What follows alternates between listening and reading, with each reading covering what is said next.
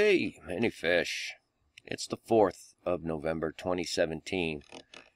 And uh, I can't not just touch on this iPhone X one more time briefly from the technological aspect of it, from the layman's view. You know, these are very, very cool gadgets, and they can do a great deal of things, but you're literally looking at a mirror into the beast. This, this is Uh, this is a technology that's going to literally entrap you even further than you already are. Okay? It's essentially it's a black mirror.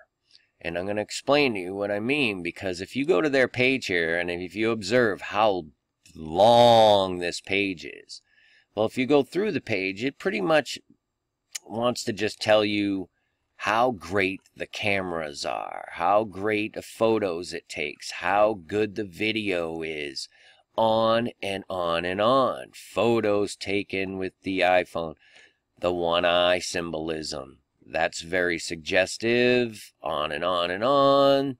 The one eye, the rainbow, yada yada yada. Make what you will of that. The upside down, one eye. It's just ridiculous. But this is what I wanted to show you.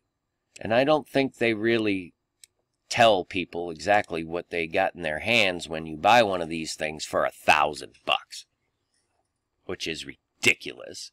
Anyway, it employs a neural engine, okay? The A11 Bionic, capable of 600 billion operations per second. You need to really understand the power of this thing.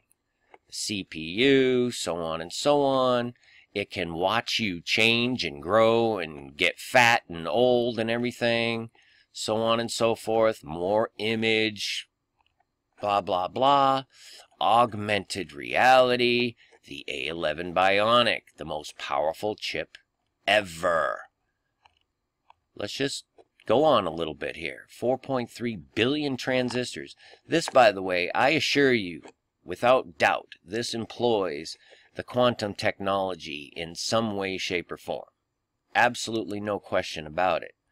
Because this thing, this neural engine, is a hardware that's purpose built for machine learning. Okay? You need to understand that. It's a type of artificial intelligence. It's going to enable your cell phone to learn from observation.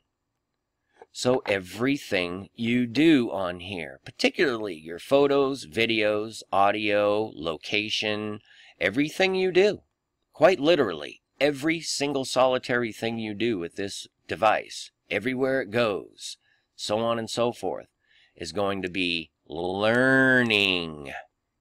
Learning you better than you and your surroundings.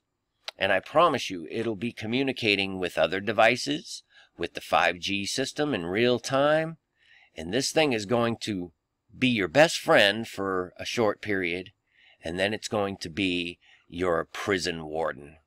And that's just the way it is because this beast is learning humanity to the point where it is literally going to just tell you what to do, for lack of a better way to put it. You're handing away your sovereignty. You're giving away your ability to be a free human being when you partake in this system. It truly is that simple. There are little ways around it, but it's here. It's, it's not going to be stopped. So what are you going to do? Well, I suggest at the very least, if you're going to carry a smartphone, get yourself a small pouch that blocks the signal when you're not using it. You at least give yourself a level of privacy, if you even care.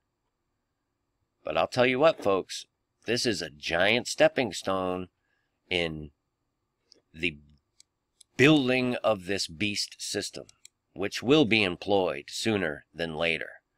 So please prepare appropriately. Seek Christ Jesus, because he will show you the truth and give you great peace in times of, uh, let's say, darkness. So, that being said, peace and grace to you all. Shabbat shalom. Many fish. Finally, my brethren, be strong in the Lord, and in the power of his might. Put on the whole armour of God, that ye may be able to stand against the wiles of the devil. For we wrestle not against flesh and blood, but against principalities, against powers, against the rulers of the darkness of this world, against spiritual wickedness in high places. Wherefore take unto you the whole armour of God,